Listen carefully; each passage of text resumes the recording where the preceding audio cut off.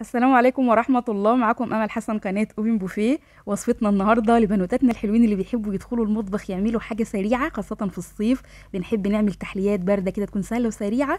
في البداية لو أول مرة بتشوفوا القناة ما تنسوش تشتركوا وتفعلوا الجرس وتعملوا لايك للفيديو. يلا بينا نبدأ.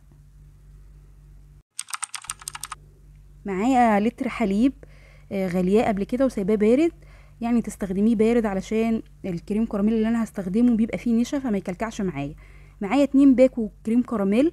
من اللي بيتباع جاهز؟ ده سهل جدا في عمله بس هنعمل عليه شوية إضافات كده يحسنوا الطعم بتاعه ويعملوا إضافة كده جميلة ليه. بدوبه وبرفعه على النار. بنلاحظ بس إن إحنا نهدي النار علشان ما يتلسعش مننا خاصة إن إحنا بنستخدم ستانلس فما يتلسعش مننا. أول ما يبدأ يغلي بالشكل ده كده برفعه من على النار. ببقى مجهزة معلقتين لبن بودرة ومعلقتين كاكاو بودر خام.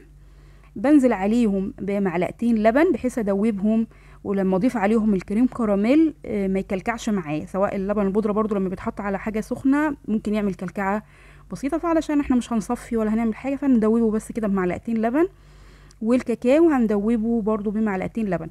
الخطوة بتاع الكاكاو دي المفروض يتحط تاني على النار.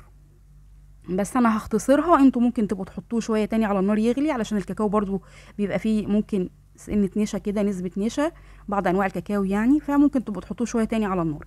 هنزل هنا بثلاث مكعبات من الشوكولاتة البيضة والتاني البني بحوالي أربعة بقى علشان أنا اختصرت خطوة إن أنا أحطه على النار فأنا مش عايزاه يبقى سايل قوي. فهحط أربع مكعبات من الشوكولاتة بالحليب. بتدي طعم حلو قوي الشوكولاتة بالحليب لأن إحنا كمان مستخدمين الكاكاو خام فنستخدم الشوكولاتة تكون بالحليب. الباكو بيبقى معاه باكو من الكراميل. باكو الكريم كراميل ده بيبقى فيه باكو كراميل. هستخدم باكو كراميل ده آه، شوية في كل كوباية. وممكن كمان نستخدم بسكوت. يعني ممكن الخليط اللي إحنا عملناه ده نستخدمه طبقات بسكوت. أنا حطيت الجزء البني في الأول وحطيته شوية في التلاجة بحيث يتماسك علشان لما أجي أحط عليه الجزء الأبيض ده آه، ما يختلطش مع بعضه. بس مجرد ما تماسك كده بدأت إن أنا طبعا الجزء الأبيض قلبته علشان ما يعملش طبقة من فوق كده اللي هي بتبقى قشرة دي. فحاولت إن أنا أقلب فيه شوية بارد هو كمان وأنزل بقى بالمعلقة كده بشويش علشان ما يمتزجوش مع بعض وبحطه في التلاجة يتماسك. مش بياخد كتير في التلاجة يعني ممكن ربع ساعة نص ساعة بالكتير بتلاقيه تماسك خالص زيه زي المهلبية يعني يبرد بس في التلاجة كده شوية. وبعدين أبدأ ازين بقى السطح بتاعه ممكن بالكراميل الباكو التاني بتاع الكراميل وممكن بصوص شوكولاتة.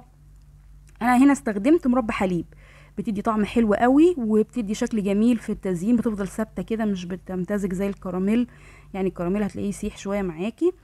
ممكن بقى تحطي فارماسيل تحطي أي حاجة الأطفال بيحبوها. بس أنا بصراحة ما بفضلش الفارماسيل قوي كطعم يعني فيه. اللي بيبقى حلو معاه القطع الشوكولاتة ممكن مكعبات شوكولاتة. الأبيض ده طعمه جميل جدا. أنا عايزاكم تجربوا بقى الاثنين وتقولوا لي رأيكم في التعليقات. وما تنسوش تعملوا لايك للفيديو ولايك لصفحة الفيسبوك. هسيبها لكم في صندوق الوصف. والسلام عليكم ورحمة الله وبركاته.